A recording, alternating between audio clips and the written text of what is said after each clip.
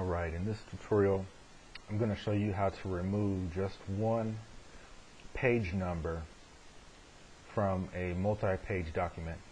So someone asks, how can I remove page number, for example, page 13, and not lose all previous page numbers?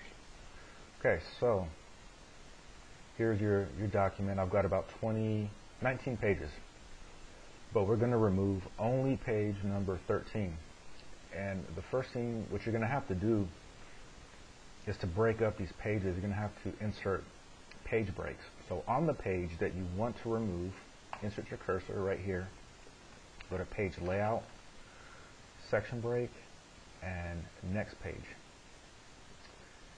Now, what you do is click down here on your page that you want to remove, and you want to unlink to the previous. Right now it's linked, it's highlighted, so you want to unlink it and that will unlink you. So you just remove page 13, delete, and you'll see now that you have all the pages 1 through 12 and 13 is gone. But so is page 14 and 15. So this is page 13 where you inserted your first page break. We're going to do another page break but not on page 13, but on the next. So insert your, your cursor here, do another page break, section break, next page, and then here on page 14 where you want to continue, you're going to insert page numbers. At the bottom of the page. Okay.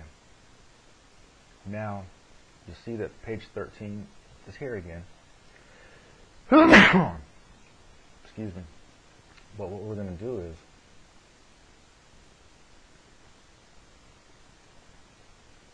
while we're on 14, we're going to unlink to the previous page.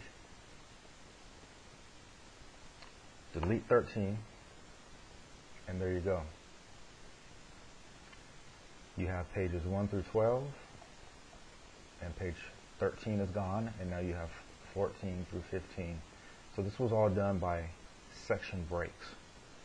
So if this video has been helpful to you in any way, please like and or subscribe, and thanks for watching.